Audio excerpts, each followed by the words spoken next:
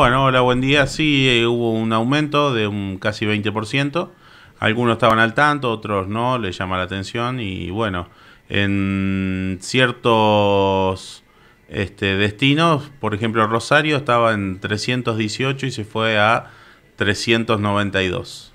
Recordemos que estamos en vacaciones y estar en vacaciones seguramente eh, hay menos demanda, es un lunes diferente, habrá que ver el otro lunes.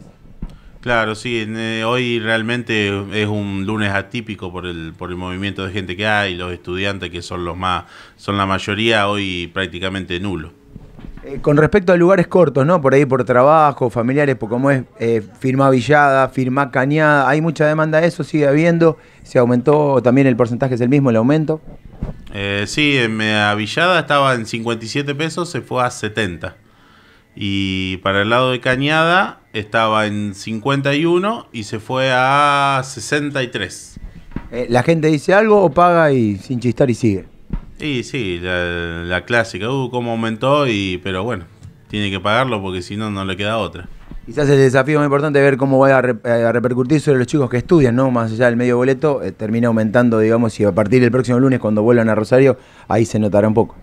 Sí, sí, sí, se va a notar y ya se venía notando en el aumento anterior que los chicos por ahí no van y vienen como antes. Eh, más vale se quedan allá y vienen cuando realmente necesitan, si no, no vuelven. Hay un dato bueno, ¿no? La frecuencia del estudiante que antes por ahí venía cada 15 días, lo notás los lunes y los viernes en las llegadas, que ha cambiado. Sí, sí, no, antes venía toda la semana. Toda la semana iba, y entre semana capaz que también metía un viaje, pero ahora no, ahora realmente lo viajan cuando necesitan.